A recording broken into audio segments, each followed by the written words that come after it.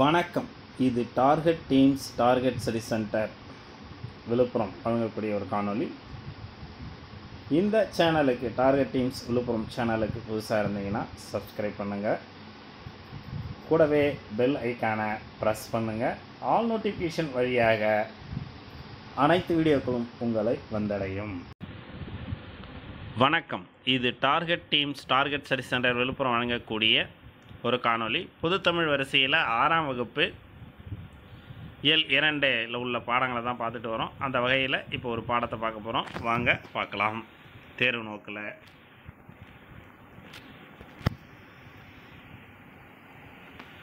வெற்றி இலக்கிய நோக்கி சங்கமம் சொல்லக்கூடிய டார்கெட் ஸ்டடி சென்டர் விழுப்புரத்தில் TNPSC TRB TET RRB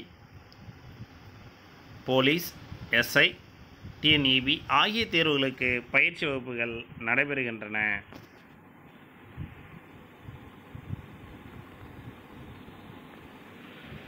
ஆறாம் வகுப்பு இயல் இரண்டு உரைநடை காலம் சிறகின் ஓசை என்ற உரைநடை தான் நம்ம இதில் பார்க்க போகிறோம்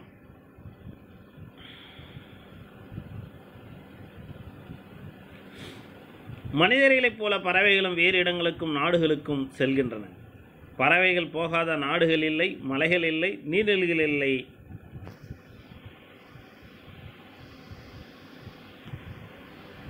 பறவைகள் கண்டமிட்டு கண்டம் பறக்கின்றன. அவை பெருங்கடலையும் மலைகளையும் கடந்து போகின்றன. குறிப்பிட்ட காலத்திற்கு பிறகு புறப்பட்ட இடத்துக்கு வந்து சேர்கின்றன. இவ்வாறு பறவைகள் இடம்பெயர்தலை வலசை போதல் என்பர். பறவைகள் இடம்பெயர்தலை வலசை போதல் என்பர். நீர்வாழ் பறவைகளை பெரும்பாலும் வலசை போகின்றன. உணவு இருப்பிடம் தட்பவெப்பநிலை மாற்றம் இனப்பெருக்கம் இவற்றுக்காக பறவைகள் இடம்பெயர்கின்றன. உணவு இருப்பிடம் தட்பவெப்பநிலை மாற்றம் இனப்பெருக்கம் இவற்றுக்காக பறவைகள் இடம்பெயர்கின்றன. நிலவு விண்மீன் புவியீர்ப்பு புலம் ஆகியவற்றை அடிப்படையாக கொண்டே பறவைகள் இடம்பெயர்கின்றன. நிலவு விண்மீன் புவியீர்ப்பு புலம் ஆகியவற்றை அடிப்படையாக கொண்டே பறவைகள் இடம்பெயர்கின்றன. பொதுவாக வடக்கிலிருந்து தெற்கு நோக்கியும் மேற்கிலிருந்து கிழக்கு நோக்கியும் பறவைகள் வலசை போகின்றன. பொதுவாக வடக்கிலிருந்து தெற்கு நோக்கியும் மேற்கிலிருந்து கிழக்கு நோக்கியும் பறவைகள் வலசை போகின்றன.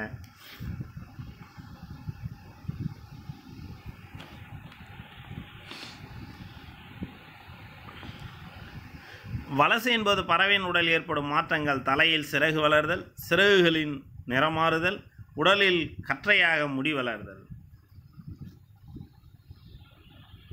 தமிழகத்திற்கு வெளிநாட்டு பறவைகள் வலசை வருவது பற்றி இலக்கியங்களிலும் செய்திகள் உள்ளன. ஏறத்தாழ ஆயிரத்தி ஐநூறு ஆண்டுகளுக்கு முன் வாழ்ந்த சக்தி முத்த புலவர் நாராய் நாராய் செங்கல் நாராய் என்னும் பாடலை எழுதியுள்ளார். அப்பாடலில் உள்ள தென்திசை குமரி அப்பாடலில் உள்ள தென் திசை குமரியாடி வட திசைக்கு இயங்குவீராயின் என்னும் அடிகள் பறவை வலசை வந்த செய்தியை குறிப்பிடுகின்றன. ஐரோப்பாவில் வந்து தமிழகத்தில் செங்கல் நாரைகள் வருவது தற்போது ஆயுள் உறுதிப்படுத்தப்பட்டுள்ளது. கப்பல் பறவை. சிறகடிக்காமல் கடலையும் தாண்டி பறக்கும் பறவை கப்பல் பறகை ஃப்ரகேட் பேர்ட். இது தரையிறங்காமல் நானூறு கிலோமீட்டர் வரை பறக்கும். இது கப்பல் கூழக்கடா கடற்கொலை பறவை என்றும் அழைக்கப்படுகிறது. சிறகடைக்காமல் கடலையும் தாண்டி பறக்கும் பறவை கப்பல் பறவை. இது தரையிறங்காமல் நானூறு கிலோமீட்டர் வரை பறக்கும். கப்பல் கூழைக்கடா கடற்கொள்ளை பறவை என்று கப்பல் பறவைக்கு வேறு பெயர்களும் உள்ளன.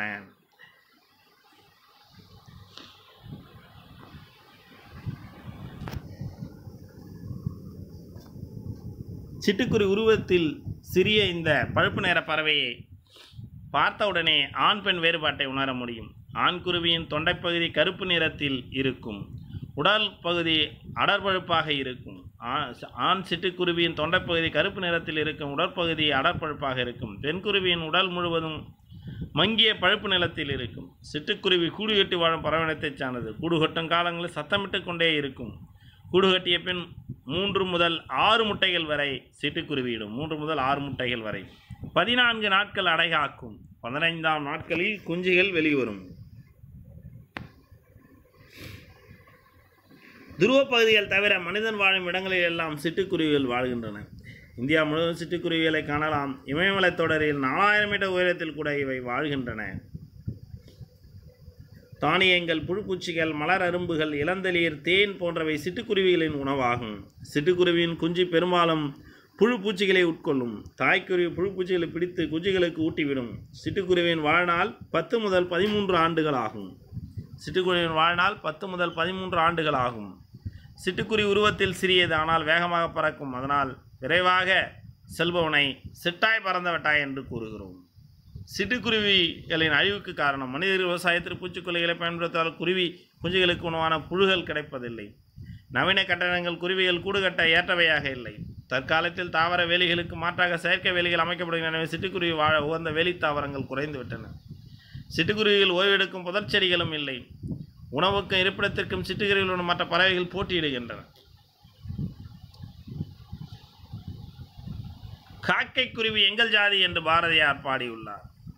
காக்கை குருவி எங்கள் ஜாதி என்று பாரதியார் பாடியுள்ளார்.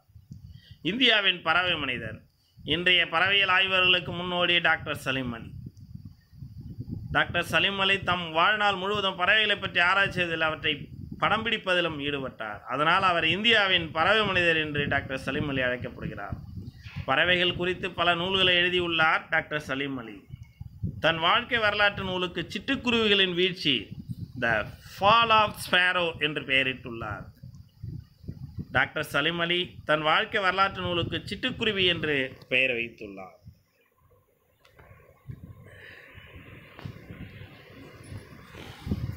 மனிதன் இல்லாத உலகில் பறவையில் வாழ முடியும். பறவையில் இல்லாத உலகில் மனிதன் வாழ முடியாது என்கிறார் பறவையியல் ஆய்வாளர் சலீம் அலி. ஆர்டிக் ஆலா உலகிலே நெடுந்தொலைவு இருபத்தி ரெண்டாயிரம் கிலோமீட்டர் பயணம் செய்யும் பறவை எனும் ஆர்டிக் ஆலா உலகிலே நெடுந்தொலைவு இருபத்தி ரெண்டாயிரம் கிலோமீட்டர் பயணம் செய்யும் பறவை இனம். பறவை பற்றிய படிப்பு ஆர்த்தினாலஜி எனப்படும். பறவை பற்றிய படிப்பு ஆர்த்தினா ஆர்த்தி ஆர்த்தினித்தாலஜி எனப்படும். உலக சிட்டுக்குருவி நாள் மார்ச் இருபது.